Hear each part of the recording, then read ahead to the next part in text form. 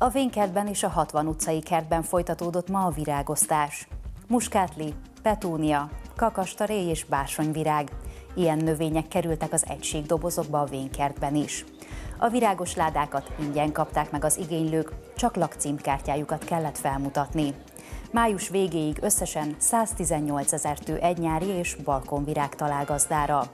Az önkormányzat 1998-ban az akkori Fidesz frakció kezdeményezésére indította útjára a virágoztási akciót annak érdekében, hogy a város lakóival közösen tegye szebbé és virágosabbá Debrecent.